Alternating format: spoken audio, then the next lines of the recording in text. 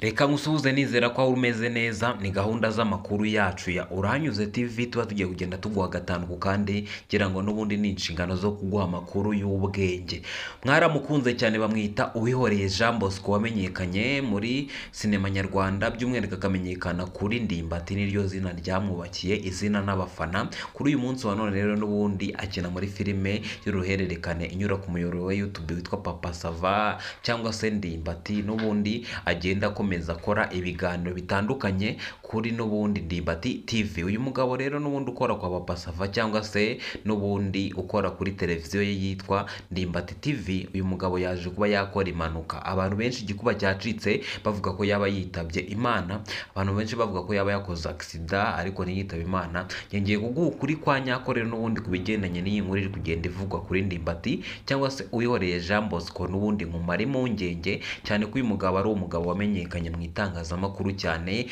by'umwihariko mu kugenda afungwa azira firidawusi n'ubundi babyaranye abana babiri b'impanga twongere turebere hamwe n'ubundi amakuru ya nyayo nimba koko yaba yapfuye cyangwa se niba atapfuye nimba ari ukubeshya. Reka musabe kugira ngo ubanze ukande subscribe uriba utayikanze kugira ngo umunsi ku wundi ujye ubona amakuru yacu kandi n'ubundi ujye uyabona mu ba mbere kuko ni inshingano zo kuguha amakuru ari update aba agenda agarukwaho mu itangazamakuru ryo mu rwanda ndetse no hanze kuko n'ubundi uyu mugabo ndimbati cyangwa se uyoreye jean bosco akunzwe n'abanyarwanda ndetse n'abatari abanyarwanda abo bose bibonamo uwihoreye jean bosco kubera ko n'ubundi ni impano ye ituma bamumenya kubera ko ni umunyarwenya ukomeye bitewe n'uburyo n'ubundi azizamo abantu bamukunda ari benshi cyane. Rero uyu mugabo bimaze kugaragara neza ko ari kugenda yubaka izina by'umwihariko mu makuru agenda atugezaho ugatanu ku kandi kuri ndimbati tv ngira ngo murabizi yamaze kuba yakora sheni ye youtube aho n'ubundi akurikirana ibiganiro by'abasitari n'urundi rwenya gake gake.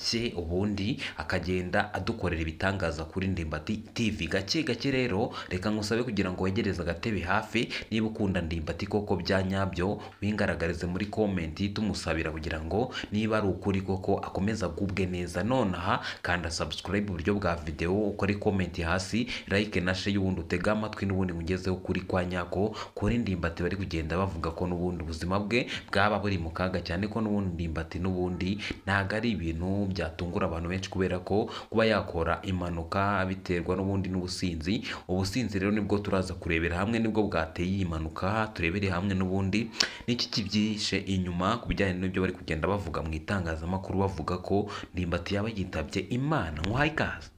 Ndimba tumenyerewe rero muri sinema nyarwanda kwa papa sava cyangwa n'itegeka garatiyeni ukora urwenya abantu benshi n'ubundi bagahurura ngo ngwino urebe biravuga ko kuri izi tariki ebyiri z'ukwa gatatu bibiri na makumyabiri na kane ni bwo n'ubundi kiramani yari yagiye gusaba umugore we bamaze imyaka umunani babana n'ubundi witwa shemusa uyu mugabo kiramani rero n'ubundi ibyo kunywa n'ibyo kurya byari byinshi ndetse ku rwego rwo hejuru birangira abantu bari bitabiriye aho ngaho banyweye ndetse baranarya niyo mpamvu n'imbarutso yatumye n'ubundi ndimbati akora impanuka bitewe no kunywa amayoga menshi ndetse bikagenda bigaragaza ko yaba yatashye mu ijoro bikamuviramo kuba yakoze impanuka. Abantu benshi rero n'ubundi batashye bishimiye ubukwe bw'uyu mugabo kiramani na shemusa kubera ko n'ubundi gusaba n'umuhango wagenze neza. Nahamya ko rwose ntajidikanya ko ari umuhango wagenze neza kuruta mu bukwe bwe bwaherutse kuba mu mezi ashize by'umwihariko muri uku kwezi kwa mbere bibiri na makumyabiri na kane ni bwo uyu mugabo yigaragaje ashyira impeta ku kuboko kwa shemusa bamaranye imyaka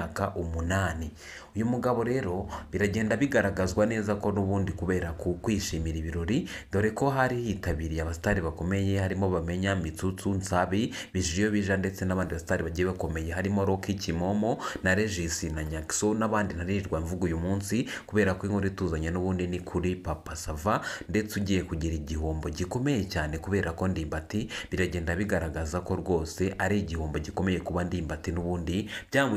Byamugendekeye gutya. Abantu benshi bari kugenda rero bakomeza bagira igikabyo gikomeye cyane kuri uyu mugabo ndimbati cyangwa se uwihoreye jean bosco mustafa bavuga ko n'ubundi yaba yitabye imana ku bw'iyi mpanuka ikomeye yabaye.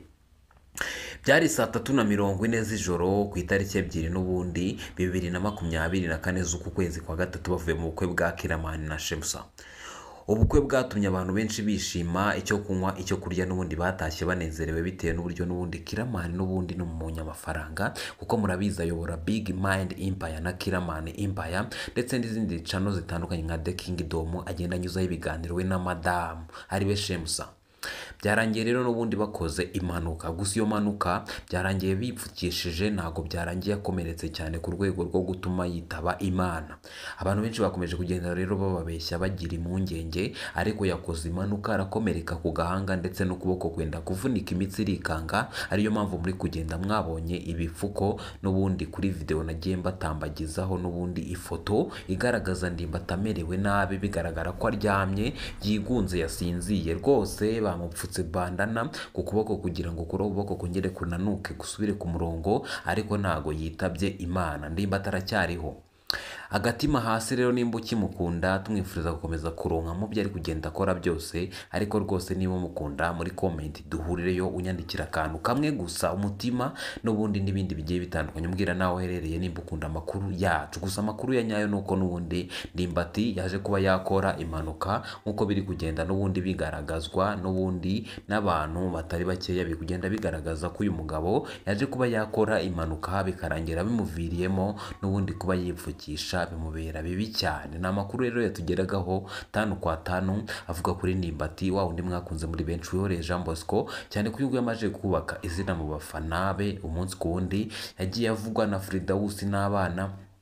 Nyuma yaho n'ubundi birangira akomeje kubaka izina Fridawusi amwubakiraho izina kuko n'ubu ngubu Fridawusi yamaze kuba yakubaka izina ubu ngubu nawe afite sheni ye YouTube yitwa Fridawusi official aho ibiganiro umunsi ku wundi bigenda binyura mu biganiro agenda anyuzaho bitandukanye tutari bugarukeho uyu munsi. Rero ndimbati ukuri guhari ni uko nguko.